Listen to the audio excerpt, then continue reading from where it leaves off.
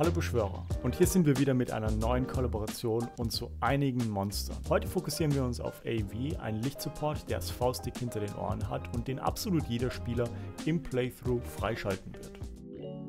Kurz zu ihrem Skillset. Wir haben hier einmal ziemlich viele Debuffs auf Skill 2 und einmal einen guten Buff plus Heilung auf Skill 3. Und hier kommt noch das Wichtige. Benutzt du AV in einem Bosskampf, zündet ihre Passiv automatisch ihren Skill 3 ohne Mana bzw. Cooldown zu gebrauchen. In anderen Worten, auch wenn sie in der Arena halbwegs gut sein kann, empfehle ich dir auf alle Fälle, sie eher im PvE einzusetzen, denn dort wird sie wirklich glänzen.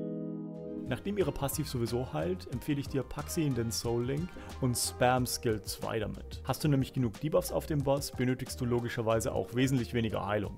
Und so konnte ich bereits beim ersten Versuch den neuen Schwierigkeitsgrad der Tränendrüsenhöhle auseinandernehmen. Also in anderen Worten, ein besseres Timing für diesen Support gibt es wirklich nicht. Also gerade für Midgame-Spieler wird sie ordentlich stark helfen, wenn es darum geht, deine 5-Stern-Runen auf 6-Stern-Runen aufzurüsten. Und wenn wir gerade bei Runen sind, kannst du bei AV eigentlich relativ frei entscheiden. Nachdem sie meistens in der Backline sein wird, erhält sie nicht allzu viel Schaden. Hast du vor, sie ähnlich wie ich zu benutzen, dann pack auf alle Fälle ordentlich viel Accuracy auf sie drauf und guck danach auf eher balancierte Stats.